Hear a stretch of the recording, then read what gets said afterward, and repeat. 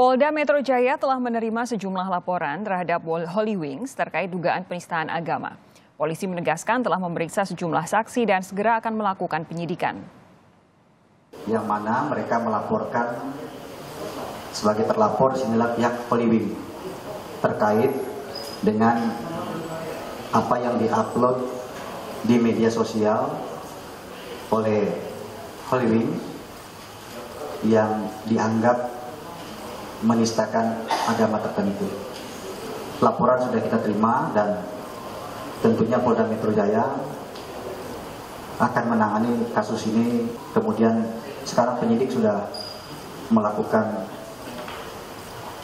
pemeriksaan, kemudian akan melakukan penyidikan terkait dengan laporan ini. Lantas apa yang mendasari pelaporan Holy Wings? Saya akan berbincang dengan pelapor, uh, yaitu Wakil Ketua Pimpinan Wilayah GP Ansor DKI Jakarta, Sofian Hadi. Assalamualaikum, Bung Sofian. Sehat ya? Waalaikumsalam, Alhamdulillah sehat walafiat. Oke, saya mau tanya dulu. Berarti hari ini tadi laporan dari teman-teman GP Ansor DKI Jakarta ditolak oleh kepolisian uh, karena sudah ada pelapor lainnya yang sudah memasukkan berkas laporan. Nggak ada masalah ya? Nggak ada masalah, nggak ada masalah. Nggak ada masalah. Oke, yang penting diproses begitu keinginannya GP Ansor DKI ya.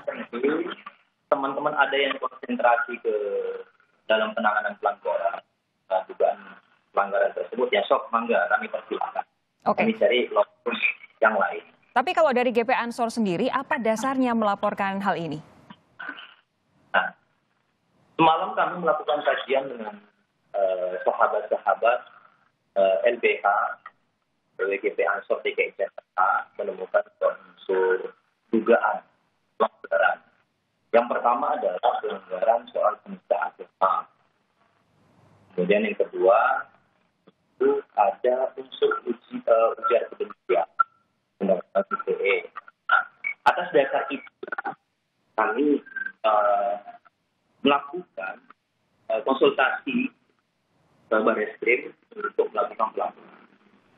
Cuma ketika kami data, sudah ada LP yang sudah dulu, mm-hmm. lebih teman aktivis lain untuk melakukan uh, apa namanya kajian hukum lebih mendalam atau pelaporan, ya kami silakan. Kami akan mencari uh, apa namanya gerakan yang lain kira-kira mampu menyuarakan memang uh, okay. yang viral ini.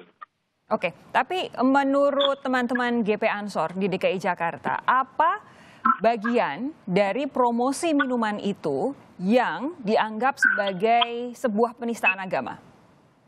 Baik. Pesanding uh, promosi yang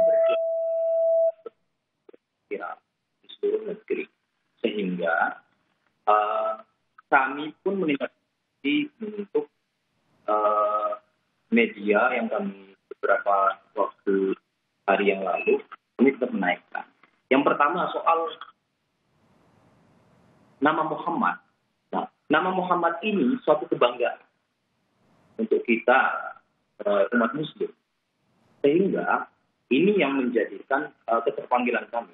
Boleh di, boleh dicek, mungkin hampir seluruh uh, umat Muslim itu pasti Muhammad laki-laki.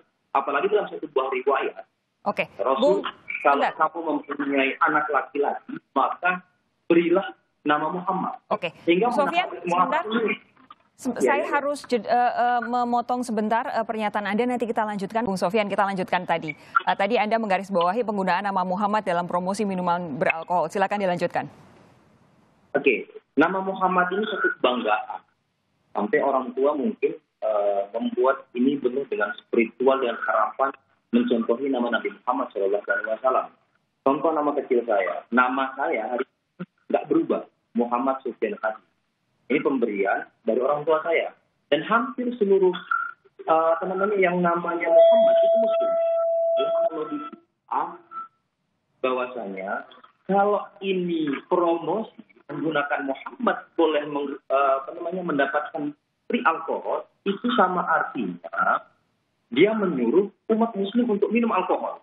Yang di mana yang namanya minum alkohol ini ya kami sudah hal yang lumrah diharamkan oleh agama.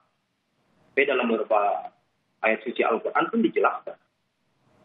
tidak boleh minum-minum yang mampu memabukkan. Sampai dalam sholat kita diharamkan Mhm. untuk mendekati sholat ketika kita dalam keadaan mabuk oleh minum-minuman yang beralkohol dan mampu menghilangkan akal sehat kita sebagai manusia. Ini tuh, Oke. Mbak. Oke. Em, kami dengar katanya akan konvoy ke Holy Wings, betul? Oh iya, kami juga mungkin eh, mudah-mudahan eh, teman-teman kepolisian juga memberikan kita istilahnya membersamai. lah. Kami memang mendengar juga ada himbauan tidak usah kompor. Ya kita nggak akan konvoy, tapi kita akan mujahadah dan berdoa di titik-titik Holy Week. Tujuannya apa? Kita mencari masalah untuk umat. Yaitu yang di mana juga sekarang ini kan lagi viral. Banyak masyarakat yang mengkejam. Banyak masyarakat yang rusak akan hal tersebut. Nah kami berdoa untuk kebaikan itu. Kami datang dengan damai, kami tidak anarkis. Mudah-mudahan dengan doa ini semua damai, semua lancar, semua mendapatkan nikmat dan mendapatkan hidayah dari Allah Subhanahu Oke. Tentu kami ketika berdoa pun hal-hal yang baik, kebaikan buat umat, kebaikan buat keliling juga. Mudah-mudahan manajemennya, ah ini yang penting, manajemen itu bertaubat dan jangan sampai ada hal-hal seperti ini terjadi lagi. Itu mungkin harapan kami dari eh, pemuda Ansor DKI Jakarta. Oke, tapi begini, Bung Sofyan, eh, bahwa ada keresahan dari GP Ansor atas promosi yang dilakukan oleh Holy Wings ini sangat bisa dipahami. Tapi di sisi lain, ketika sudah eh, berkonvoy mendatangi lokasi, apakah ini tidak apa ya, eh, tidak takut GP Ansor bahwa ini akan dianggap sebagai sebuah bentuk intimidasi, misalnya karena toh kasusnya sudah diproses oleh kepolisian? Dalam berdoa itu kita selalu dianjurkan untuk yang baik-baik. Khususnya di umat Islam. Yang baik-baik. Nah, saya belum pernah mendengar doa yang intimidasi yang dianjurkan oleh guru-guru saya. Nah, dengan harapan doa dan mujahadah ini karena kebetulan di sekretariat kantor TWGP setiap Jumat malam satu itu mujahadah bersama. Tahlilan, doa, khotibul hadat. Nah, ini kebetulan juga ya udah kita tinggal alihkan posisinya saja untuk berdoa ini. Ya, mudah-mudahan ini kebaikan buat kita semua, menyejukkan seluruh umat Islam, menyejukkan seluruh perbedaan. Nah, kemudian yang paling penting ini, yang kami harapkan adalah, nah, ini kan manajemen following menyalakan promosinya. Nah, ini kan seharusnya janganlah menjebak promosi atau apa segala macamnya. Kalau memang ini kesalahan bersama ya wes, kesalahan bersama. Nah, teman-teman juga udah harus melaporkan ke pihak terkait, yaitu di Polda Metro Jaya dan ada di Polres Jakarta Selatan. Kami akan menghormati proses hukum itu. Baik. Dan kami tetap akan Kalau melakukan dari manajemen Holy Wings sudah menyatakan permintaan maaf, eh, masih belum memadai untuk teman-teman GP Ansor DKI. Eh, itu masih di ini di akunnya ya, di akunnya, di akunnya. Ya mudah-mudahan nanti bisa mungkin silaturahimi ke BP Ansor, mungkin silaturahim juga ke tokoh-tokoh agama, biar lebih humanis lah, lebih humanis dan lebih lebih lebih bersahabat. Karena dalam filosofi di kita Ansor itu sahabat-sahabat sekalian. Ya mudah-mudahan kita semua bisa bersahabat. Itu Mbak. Oke, eh, eh, begini, eh, kondisinya manajemen sudah meminta maaf, polisi sudah me- me- apa namanya memproses kasus ini. Apalagi yang dikehendaki, apalagi yang diharapkan oleh eh, GP Ansor karena eh, apa namanya kalau kemudian dari manajemen bersilaturahmi ke ke satu-satu organisasi Islam, apa itu yang diharapkan? Karena begini, Holding ini saya beberapa kali telusuri di beberapa situs media juga pernah beberapa eh, apa namanya istilahnya bermasalah. Nah, ini mungkin juga mungkin teguran kedua, teguran ketiga dan teguran keempat. Jangan sampai ada teguran ketiga lah. Apakah Ya, Bung. Sofyan dan teman-teman eh, GP Ansor di DKI Jakarta nggak percaya dengan proses yang sedang dilakukan oleh polisi? Ya kami tetap memantau, kami tetap memantau perkembangan yang dilakukan oleh teman-teman dari jalur hukum. Tetap kita memantau. Tapi tadi juga Polda kan sudah mengambil alih eh, pelaporan-pelaporan di Polres Jakarta Selatan. Nah, kami juga tadi sebenarnya ke Baris Krim kan, tapi ya kami lebih dalam konsultasi. Ya udah kalau memang sudah ada yang teman-teman konsentrasi ke sana, sok, monggo silakan. Justru itu, justru itu. Karena tadi Anda bilang bahwa nggak ada masalah, laporan ditolak karena toh sudah ada pelapor sebelumnya. Artinya polisi di sini kan memproses laporan ini. Karena dianggap apa yang dilaporkan teman-teman GP Ansor DKI Jakarta sama dengan pelapor-pelapor lainnya. Banyak pihak yang melaporkan, polisi pasti akan menangani kasus ini.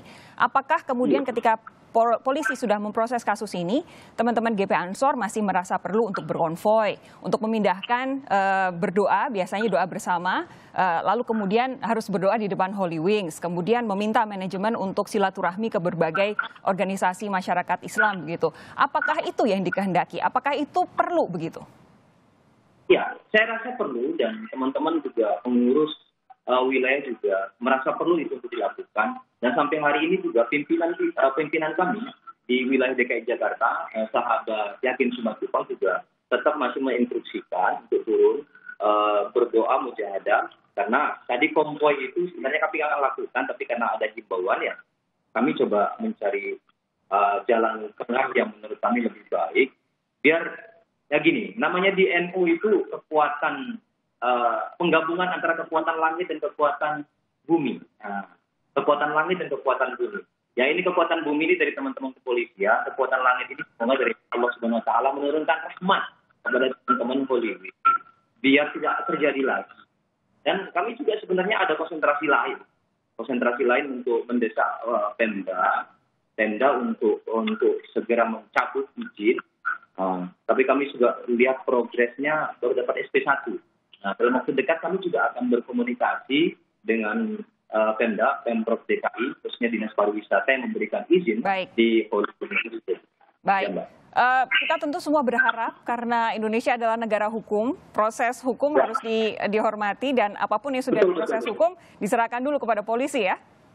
Betul betul. Oke, okay, baik. Terima kasih Bu Sofian Hadi uh, dari GPN DKI Jakarta sudah bergabung di Sapa ya. Indonesia Malam. Assalamualaikum. Ya, ya.